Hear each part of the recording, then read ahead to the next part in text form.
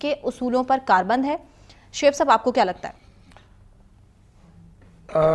سنا ایسا ہے اس کیس کی حد تک۔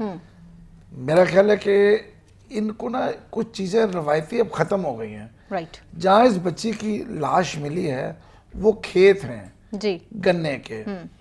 اب لازمی بات ہے کہ یا اس کی لاش وہاں لے آئی گئی یا وہ واقعہ وہاں پہ ہوا۔ جی۔ تو مجھے یاد ہے ماضی میں کھوجی ہوا کرتے تھے جو کھرا اٹھایا کرتے تھے۔ اور اب بھی ہمارے یہاں دنیا بھر میں ایک چیز نہیں آ رہی ہے وہ کیمرے کے ساتھ۔ اس جگہ کو دیکھتے ہیں سرچ کرتے ہیں۔ پولیس کے اصولوں پر ہی کاربند ہے۔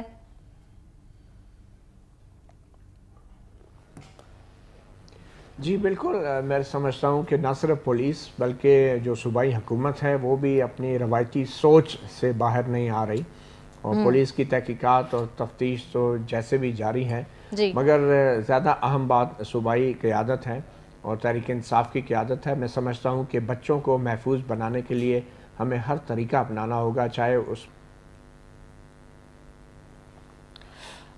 سنا سب سے پہلے تو جو شہباز شریف صاحب نے ایک بات کی کہ child abuse is above all divides of politics ethnicity regions caste اس سب سے اوپر بڑھ کے ہمیں دیکھنا پڑے گا۔ ہمیں اس کو ایز اے کرائم کنسیڈر کرنا ہے جو کہ پاکستان میں ہو رہا ہے۔ اس کے لیے پوائنٹ سکورنگ نہیں جو ہمیں بالکل بھی نہیں دیکھنی ہمیں پسند نہیں ہے پوائنٹ سکورنگ پولیٹیشنز آج کو ان تمام وکٹمز کے دیکھیے کے پی کے کی پولیس جو ہے اس کی روایات وہ نہیں ہے جو پنجاب پولیس کی اور سندھ پولیس کی ہے۔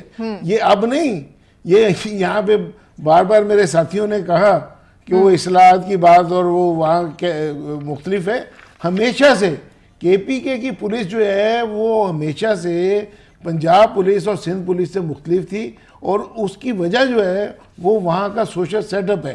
وہاں پہ اس طرح گھر سے اٹھا کے آپ ایک بندے نے زید نے